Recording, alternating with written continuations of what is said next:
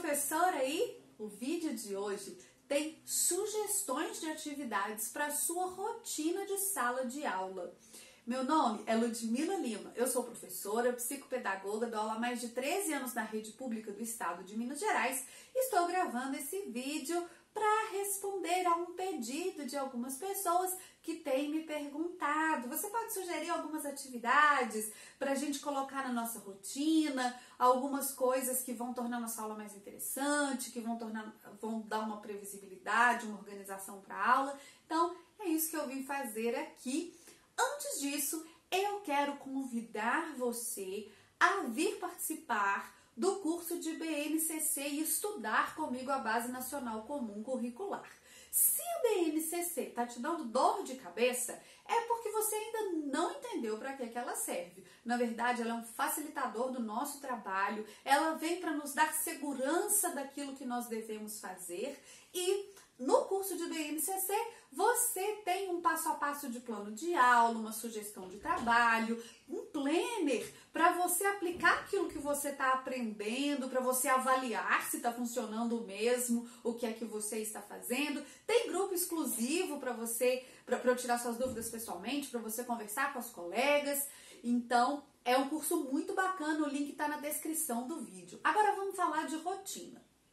Nós sabemos que a rotina é importante para que o aluno consiga aprender, sabemos que ela dá uma previsibilidade, que ela mostra uma organização, que ela dá segurança para a criança. A rotina é importante para a disciplina, ela nos ajuda na disciplina. Se você quiser ver um vídeo que eu fiz sobre rotina, eu vou deixar aqui ó, o card para você clicar e ver. Porque nesse vídeo eu quero te dar sugestões, exemplos práticos de atividades que podem ser usadas na nossa rotina.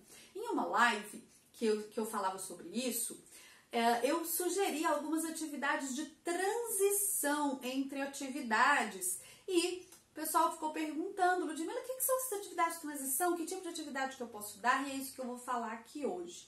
Então, nós temos uma carga horária a cumprir e nós temos geralmente um horário semanal. Né? Aqui nós estamos falando de ensino fundamental 1, um, anos iniciais. Então nós temos ali quantas aulas de geografia, quantas aulas de português, quantas aulas de matemática. Então a minha sugestão é sempre ter na sua rotina a previsão desses horários para que você possa trabalhar sem prejuízo da carga horária de nenhum componente curricular certo? Então nós temos lá no primeiro horário língua portuguesa, no segundo horário matemática, isso aí a gente já seguia, isso aí é óbvio, né? E eu disse para vocês lá nessa live que colocasse algumas atividades intermediárias, atividades que podem ser pré-fixadas e outras que não. O que, que são essas atividades? Veja só. Lá no comecinho da aula, a gente pode trabalhar com a chamada. Eu vou dar sugestões aqui para diferentes séries, tá bom? Mas se eu estou com o primeiro ano, é super bacana fazer aquela chamada onde a gente tem, né? Quantos nós somos? Quantos faltaram? Então, quantos tem hoje? Quantas meninas são? Quantos faltaram? Quantas tem hoje? Quantos meninos são? Quantos faltaram? Quantos tem hoje? Isso é importante. Vai, vai trabalhando o cálculo com a criança, né? Elas são capazes de contar, elas começam fazendo isso contando dentro da sala quantos são, quantos tem, quantos faltaram, mas eles vão uh, desenvolvendo cálculos, isso é interessante.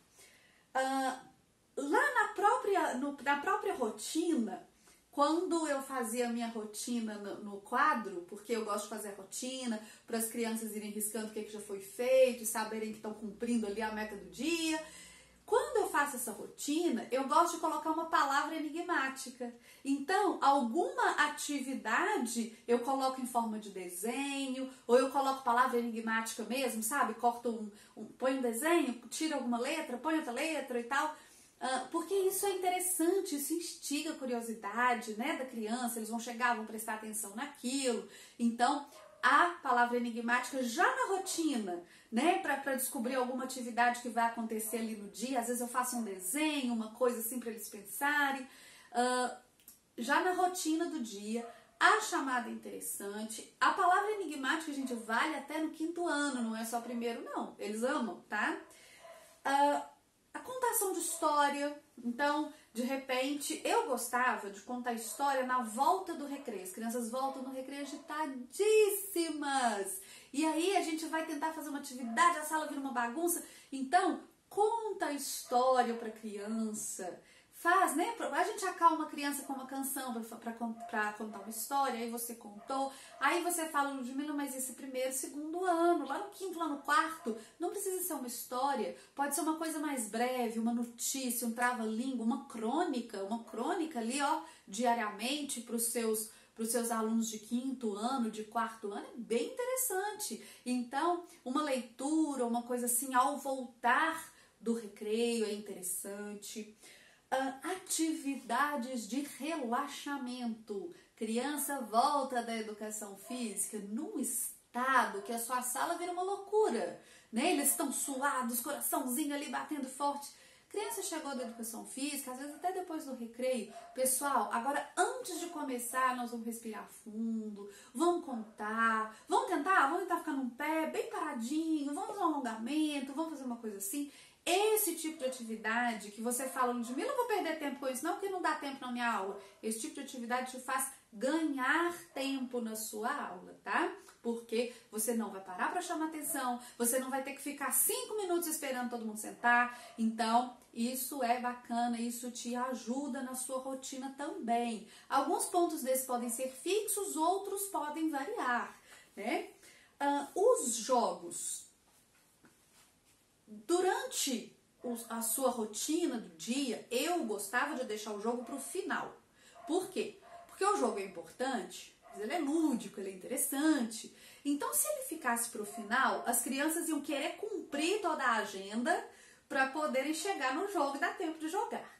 E aí você já está organizando saída também, né? Cada escola tem a saída de um jeito, mas então aí você já está organizando a saída também. Então os jogos, olha só, para as crianças pequenininhas, o Nunca Desce, né, que eles gostam muito, uh, e ajuda a aprender o sistema de numeração decimal. Alfabeto móvel, gente, eu quero ver quem forma mais palavra, eu quero ver quem forma palavra maior, eu quero ver. Então, o, o alfabeto móvel é uma coisa bacana de você deixar eles brincarem. Uh, o jogo de forca, né? Eu gostava de fazer assim: vai um ao quadro quem acertar a palavra vai ao quadro fazer uma nova palavra e marcar, e os colegas vão falando e tal. Só que eu colocava regra. É, tinha que falar na sua vez ali, seguindo a fila, para não virar bagunça. Então, o jogo de forca, para quem está alfabetizando, vai preenchendo letra por letra, é muito bacana.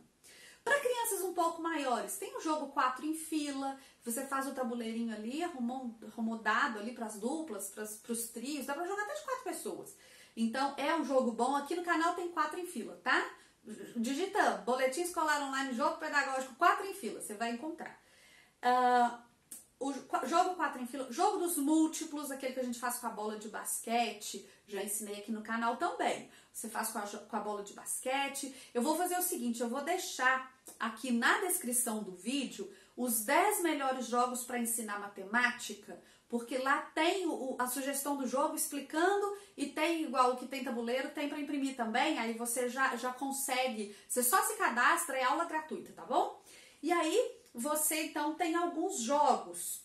Ah, a forca, quando você já está assim, terceiro, quarto, quinto ano, que as crianças já estão alfabetizadas, a forca ainda é interessante. Só que aí você vai dar como dica da forca algo dos componentes curriculares que você trabalhou. Então, por exemplo, uh, eu estou trabalhando. É, Estou trabalhando a relação entre o campo e a cidade. A minha forca pode ter lá assim a palavra agroindústria, né? Então você já coloca umas coisas que tem a ver com o que você está trabalhando. Então Uh, também é interessante para você colocar entre as atividades ou no final de um, de um horário. Enquanto. Sabe quando você acabou, os seus alunos já acabaram de fazer atividade e falta três minutos para o recreio? Não dá tempo de você dar outra atividade. Você não quer começar outra atividade, parar e voltar. Então você coloco uma dessas atividades de transição, que são atividades pra, para o aprendizado, elas têm que ter um, um objetivo na sua aula, mas elas são mais lúdicas, elas são mais curtas, elas podem ser interrompidas.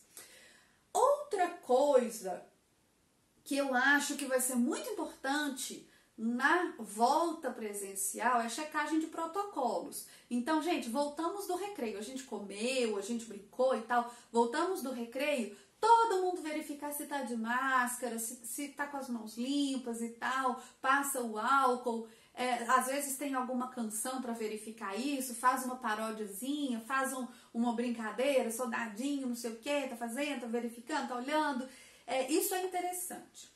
E outra coisa dessas atividades de transição que eu acho assim super, super, super importante são as, aquelas coisas que te preparam para outras coisas. Eu sempre falo da gente cantar antes de contar uma história, né? Porque a criança vai acalmar.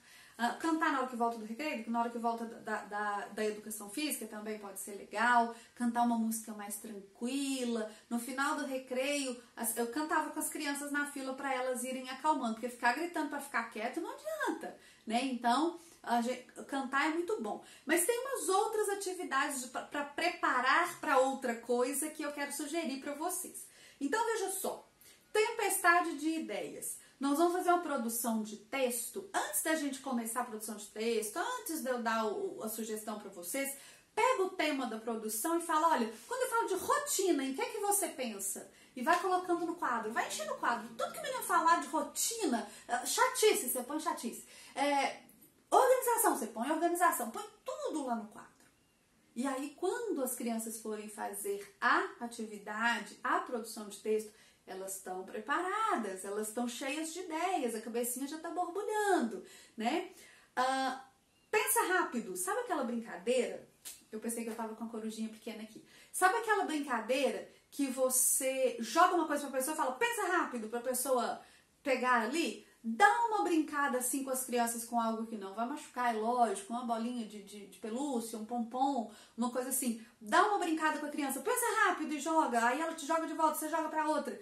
Para que esse pensa rápido? Agilidade, rapidez, a criança entender que, ó, papum, é agora. Antes de trabalhar um cálculo mental, por exemplo, né? Porque você já ativa ali aquela atenção. É interessante também. Uh, cantar antes de dançar.